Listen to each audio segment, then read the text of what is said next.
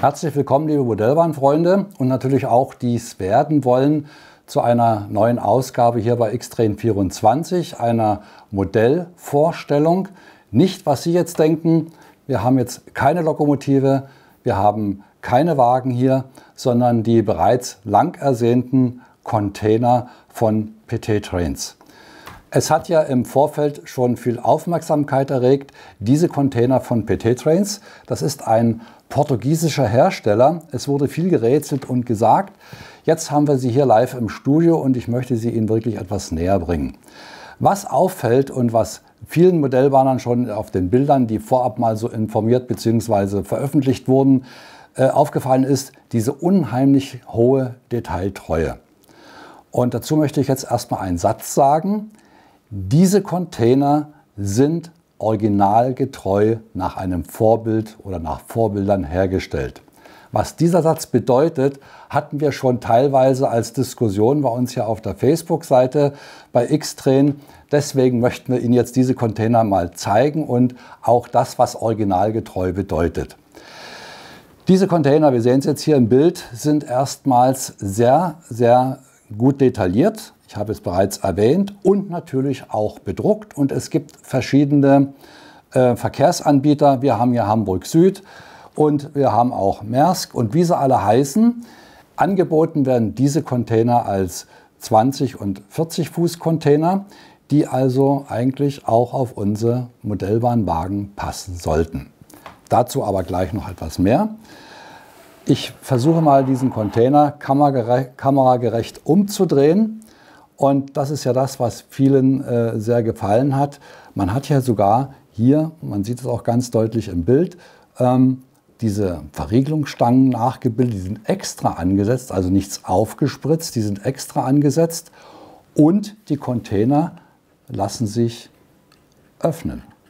Das heißt also, äh, man hat verschiedene Möglichkeiten auf der Anlage, verschiedene Spielarten durchzugehen. Man kann also mit geöffneten Containern an Laderampen arbeiten und so weiter.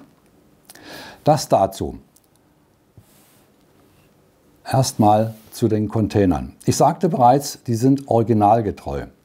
Dazu muss ich jetzt nochmal, ich hoffe, die Kamera kann es einfangen, ähm, bei diesen Containern auf Folgendes hinweisen. Die Container, Sie kennen das vom Original, haben hier unten diese Ösen bzw. diese Öffnungen, wo die Containerzapfen, die auf den Wagen sind, normalerweise einrasten und dann verriegelt werden. Die Kamera hat es, glaube ich, ja, diese, diese Öffnung hier unten, wo dann die Zapfen reinpassen.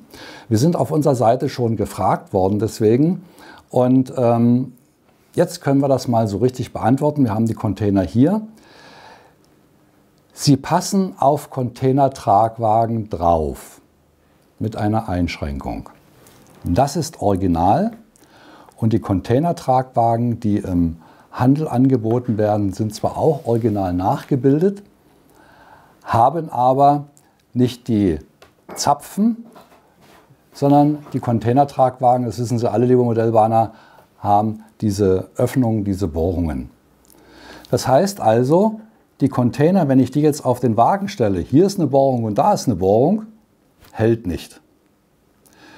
Das ist der kleine Wermutstropfen. Aber es gibt ja auch Lösungen dafür.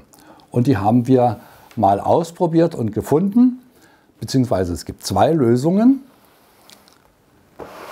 Wir nehmen uns mal diesen Containertragwagen von Märklin vor.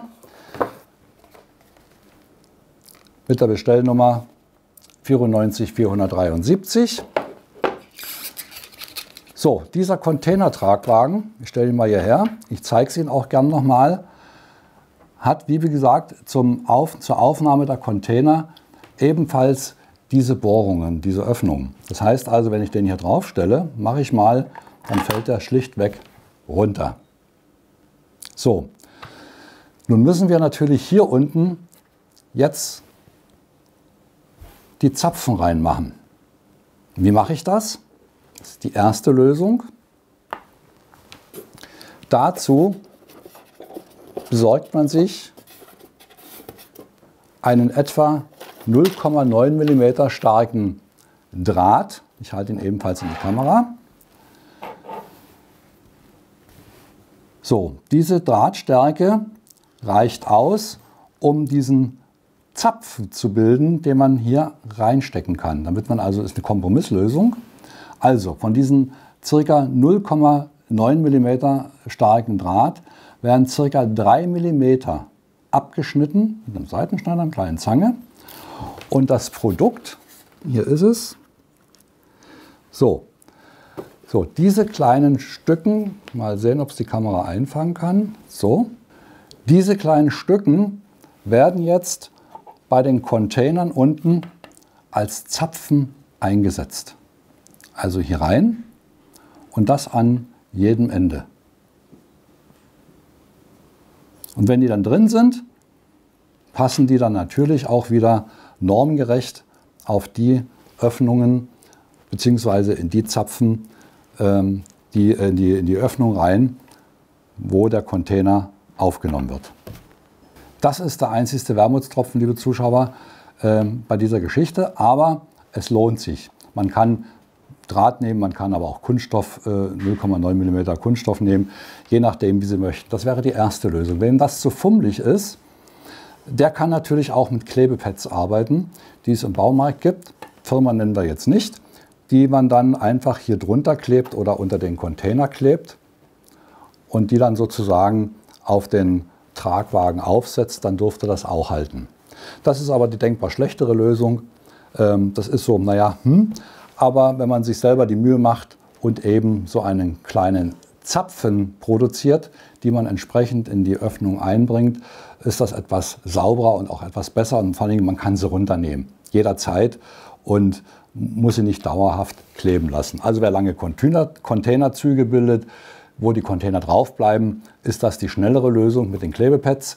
Wer aber die Container wechseln möchte, weil er einen Kran gebaut hat, der die auch noch abhebt, der sollte dann zu der Methode greifen, wie wir sie eben vorgeschlagen haben, diese Kompromisslösung. Muss aber nochmal sagen, das, was PT Trains gebaut hat, ist original und ist richtig so. Jetzt möchte ich nicht die Modellbahnindustrie, die deutsche schelten, aber wir haben Container, wo die Zapfen am Container sind und dann passen die auch hier rein. Hier ist es genau umgekehrt. Also hier müssen Sie wirklich noch mal ein bisschen Hand anlegen. Die Mühe wird es wert sein, muss ich Ihnen wirklich sagen. Es gibt ja verschiedene äh, Bedruckungen und verschiedene Größen von diesen Containern. Sie sind auf alle Fälle ein Hingucker auf Ihre Anlage.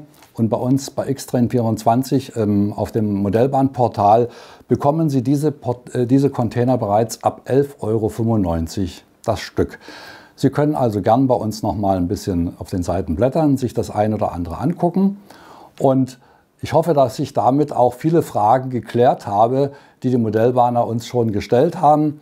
So sieht es aus, aber es ist die Mühe wert. Die Container sind toll und schick und ich wünsche Ihnen viel Spaß damit.